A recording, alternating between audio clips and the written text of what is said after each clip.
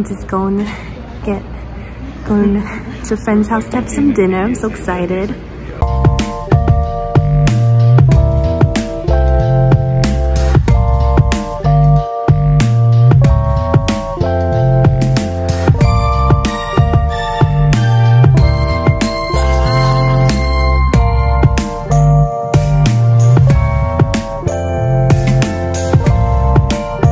Have a hug?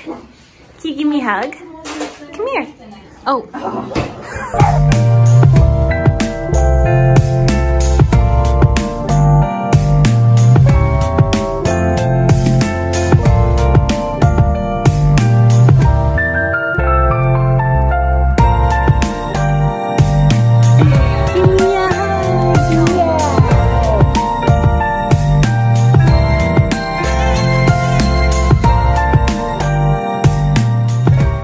Guys, so I just did my live stream for the ColourPop and Animal Crossing collab and as you saw, my freaking, but the Super Shock that came in this, I, this collection, oh I just ripped the box open, so that's on. It's not even usable. You guys can kind of see, but not really.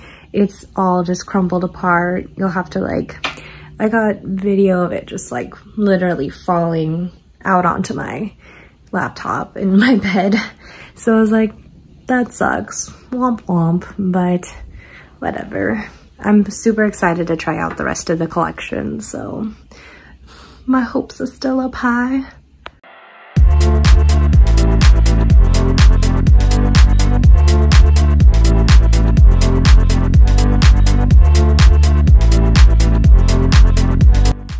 I decided to take the stickers I got with my ColourPop and Animal Crossing stuff and put them on here. Like, what? What? It's so cute. So I decided to do a face mask so you guys can see because I haven't done one in a while, really. And it's a Florence by Mills Mind Glowing face mask.